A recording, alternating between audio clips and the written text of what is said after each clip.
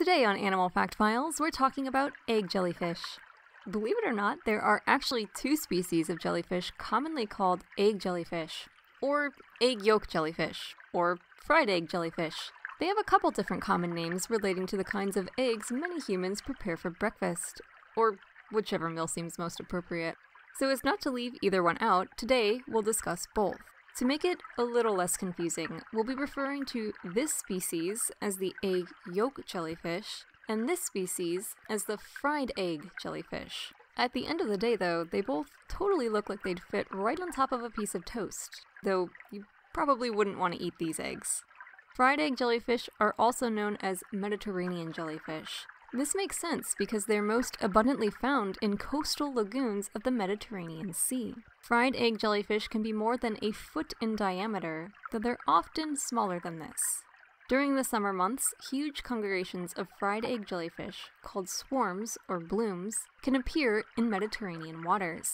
Fortunately for swimmers, fried egg jellyfish stings are generally considered harmless to humans.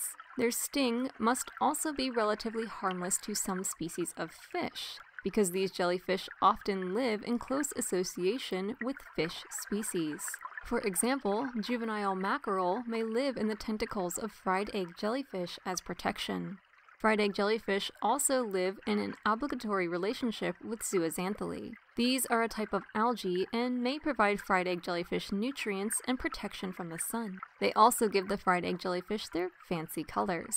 Fried egg jellyfish eat floating plankton species that are caught in the jellyfish's tentacles, and they themselves are taken by sea turtles and likely other predators such as seafaring birds.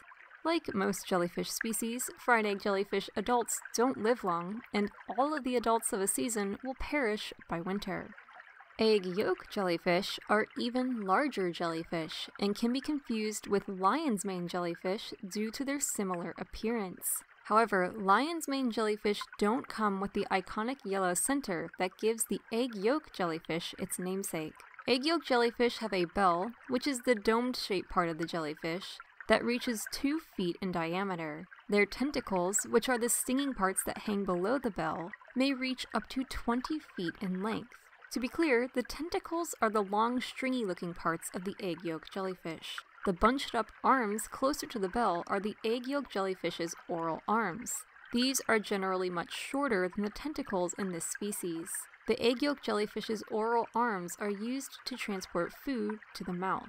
Egg yolk jellyfish mostly eat other jellyfish medusae. The medusa phase is the most well known phase of the jellyfish's life cycle. When in this phase, jellyfish have the iconic dome, tentacles, and oral arms. However, in other phases, they can appear quite different, with some actually sticking to the floor of the ocean. We discussed the jellyfish's life cycle in more detail in our spotted jellyfish episode, if that's something you want to check out. For egg yolk jellyfish specifically, they likely live about a year as medusae. In this form, they may be eaten by sea turtles, fish, like ocean sunfish, and marine birds. Egg yolk jellyfish are found in temperate waters worldwide. They are pelagic, meaning they live in the open ocean, though they can occur in coastal areas as well. For more facts on egg jellyfish, check out the links in the description. Give a thumbs up if you learned something new today, and thank you for watching Animal Fact Files.